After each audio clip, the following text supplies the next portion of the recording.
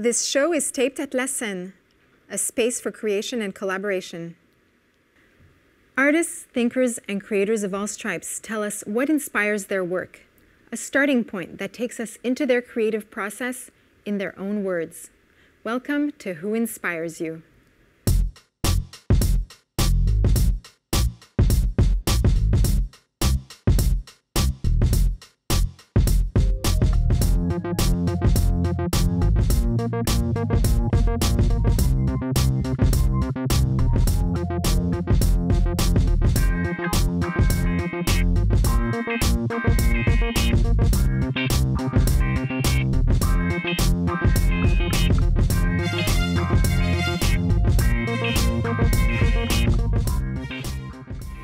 Mesurier is a sculptor. He works with steel parts that he finds in scrapyards. He builds large sculptures that are displayed in public spaces all over Montreal. For 25 years, his work has traveled throughout Canada, the United States, and Europe. His work is currently best viewed at the Twilight Sculpture Garden, a permanent attraction of 75 sculptures in the Mile End. He recently had a collection of 22 sculptures on display at Parc Faubourg. And just this fall, he opened a 300 acre sculpture park on the Montreal New York border in Saint Bernard de la Colle. Glen, hello. Hi. Thanks for being with us. You're welcome. So let me just jump right in and ask you who or what inspires you? Um, well, there's a number of things that inspires one if you're making things, and in my case, I I, I would probably think that um, it's other artists, of course, and along with that, it's poetry and music.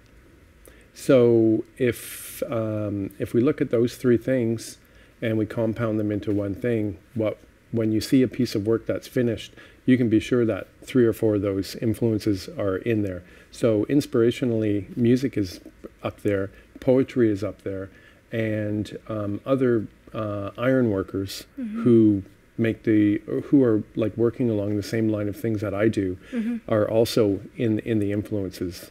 Um, yeah, one of the ironworkers that you, or one of the sculptors that you mentioned, um, is Bernhard Luginbühl, who's a Swiss sculptor, hmm. um, and he is very influential in your work. Yes, um, I a few years ago. Um, well, it's longer than a few years ago. It was like uh, nine or ten years ago, actually.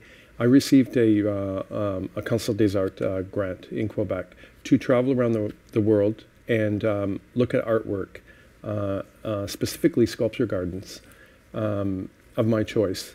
Um, so um, I was deeply influenced before by Expo 67. Okay. And two of the artists that were in Expo 67 uh, that were sculptors was uh, Bernhard Luginbühl, who is a uh, Swiss um, sculptor who makes uh, large pieces from machinery, and Jean Tinguely. Mm-hmm. Uh, Tinguely and Niki de Saint Phalle had the uh, French pavilion, and Luginbühl had the Swiss pavilion. So I already had a place in my heart for these people. But to actually meet them yeah. and call them up and go and meet them, uh, Tinguely, no, because he was dead. Uh, Niki de St. Phalle at the time was living in, um, in California. Uh, so um, I, I, touched down with the family and I went over and uh, met them. Um, and Luginbühl actually has three sons who work alongside of him who uh, move a lot of the work and um, you know, and do a lot of the welding and things like this. So I was lucky enough to meet up with him, and um, because my work was so close to the uh, Swiss avant-garde from 19, you know, 1940 and 50 yeah. to uh, 2000, um, there was a uh, kinship between yeah. us, and likenesses attract.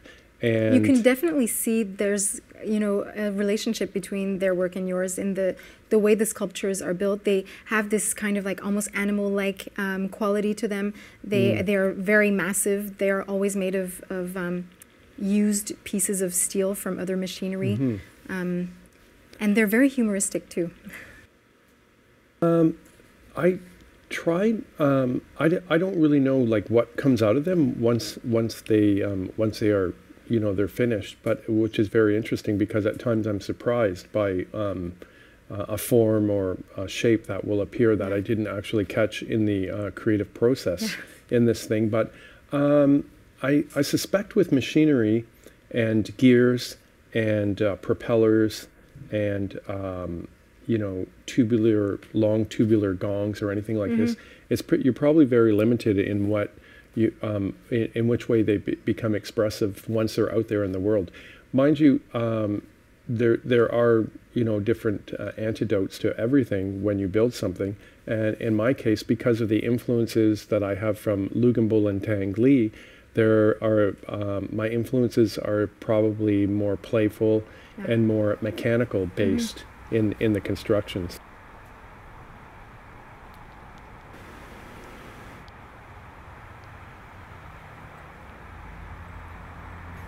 It is quite a challenge, though, working with these steel parts. Your, your sculptures are, are big and they must be extremely heavy. Why, why did you even s- decide to work with such a difficult material? I think that, um, you know, um, I, I, I used to play music and in my in my twenties, and then um, but I always wrote poetry, and I knew these things would coagulate into something more powerful as I aged Yeah. and got a little bit, um, you know, more connected to what really felt right for me, and I think that, um, you know, the you know, I find steel is a very magnanimous material, and our culture today is full of steel no matter where you look. I mean, right. everybody drives around in a car, so we're talking like three thousand pounds right there, right off Yeah. the right off the top.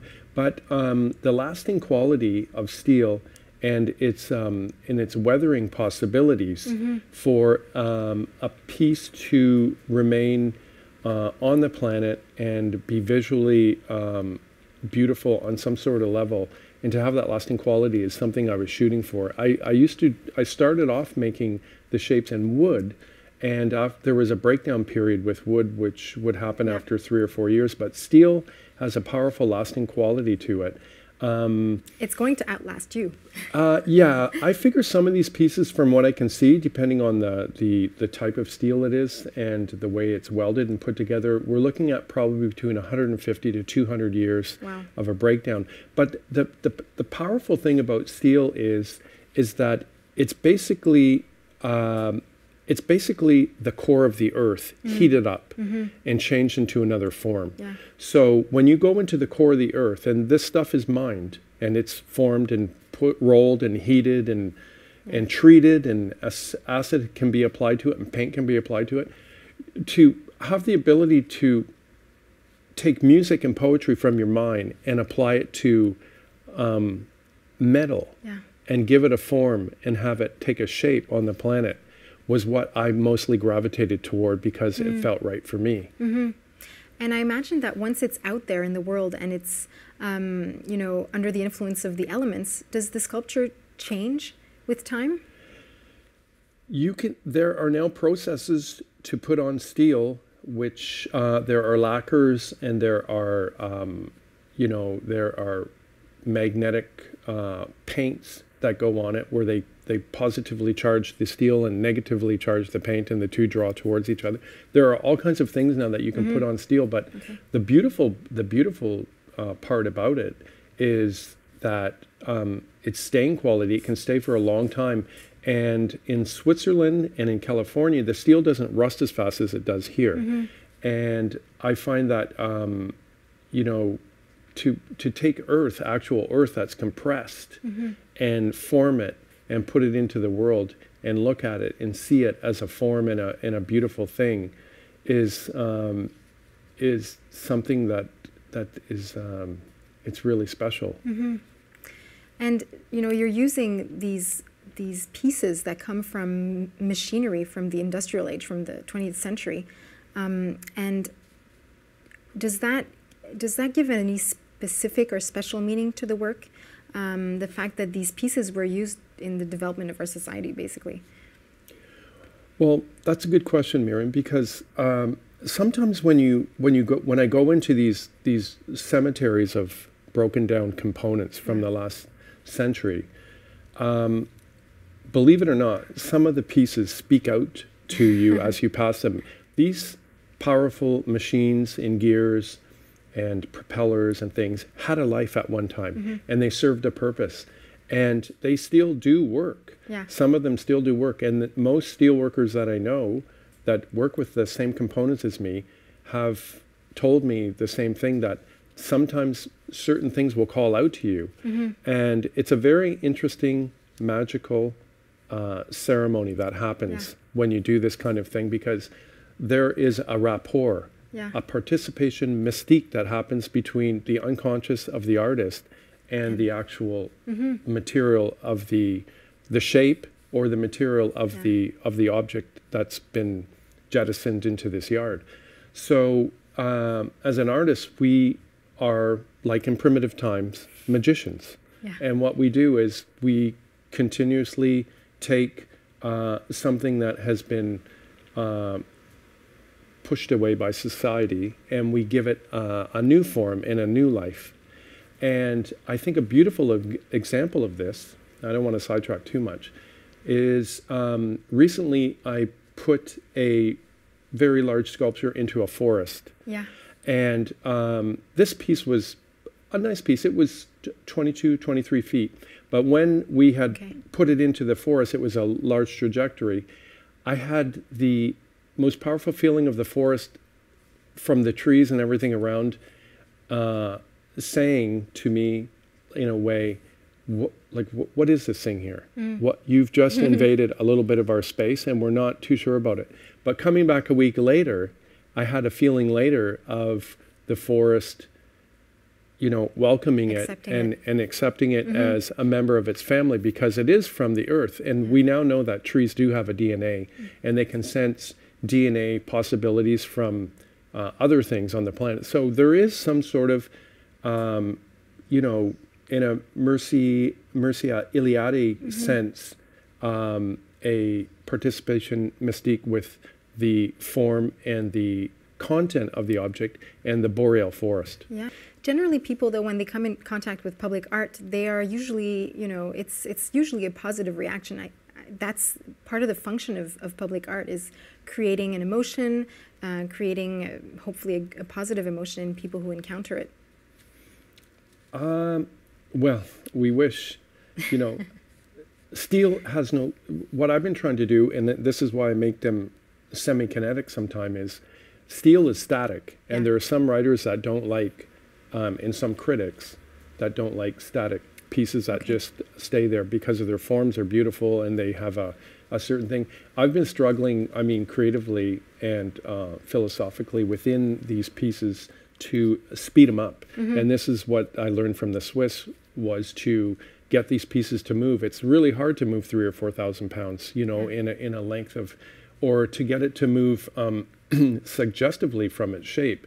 But getting a positive reaction from um, the world around you for these things um, is a kind of a throw in. And it's nice if you okay. can get it because that is really what you're trying to do with art. You're trying to, um, you know, you're trying to get um, some sort of um, resonance from society um, about the piece. Mm-hmm. And this is what was so beautiful about the um, Expo 67 World Exhibition, which had a ton of sculpture. Yeah. And these pieces were were beautiful and they were powerfully placed in the city afterwards. Some of them left, but most of them stayed. What is the heritage of that um, Expo 67, uh, specifically the sculptures? Have they remained within Montreal? Well, you know, um, what they did with Expo was that they, they, they knew they had other countries coming, but and they knew they had a lot of really good sculptors here. So mm-hmm. what they did in '65 and '66 was they had two symposiums of uh, sculptures yeah in Alma and one in Scheffer, Schefferville to find out who they were going to use for Expo because uh-huh. these guys were working really huge and the pieces they were making were gigantic. Yeah. Um, Montreal has a very long history of cement um, and stone makers and uh, wood makers, and Armand Vaillancourt, of course, was in there. Yeah. You know, slugging the big. Um, big lumber around and the big cement around. So these guys got into Expo. They chose the ones they wanted, and um, once they got in, they brought in the pieces and um, they they linked them up with the with the other artists that were there, and they had a lot of sculptures. So some of them were, uh, you know, uh, some of them were disseminated um, in the city. There are still some of them around, like at, on Park um, uh, Jean Talbot. There's some yeah. Uh, at the old site. There's some that are broken down and, and believe it or not, there's still there's still a few that I know of in the city that are hidden away in a, a small place and they're in total they're just like broken down uh, robots and they're they're there. But on the whole they did a pretty good job with all of Yeah. them. And now you're continuing, carrying on the flame. I'm I'm largely influenced by Expo because of the um, um, the early um, Quebec uh, early Quebec sculptors. I'm very influenced by, and I was lucky enough to know some of them, like Hans Schleeh and uh, Stanley Lewis was a good friend of mine. He was a stone sculptor who I actually buried with uh, a couple other buddies um, after he died. Um, uh, Armand's still alive. Um, you know, Louis Archambault has a good good chunk out there at the in Ottawa, and uh, you know, uh, Charles Daudelin has some beautiful stuff at McGill, and you know, there's the um, Sophie Daou, and there's there's a beautiful Yeah. array of uh, early sculptors from Quebec, and we're kind of um, we're we're kind of lucky because we don't. Um, iron sculpture basically started in 1945, and uh, after uh, Julio Gonzalez in Spain, like with David Smith and all these guys, and you know, um, we're it's a- it's a relatively young medium, so there there's not so much, um, you know, like uh, I mean, for a painter, they have all the heavyweights behind them, like you know, you know, Da Vinci and and all these these. Um, you know these these great painters. But in in in steelwork we don't really have this. So there's a beautiful explosion of new stuff coming out on the planet right now all over the world that is powerful good and uh, visually stimulating On that beautiful note, thank you, Glen, for being with you're us. welcome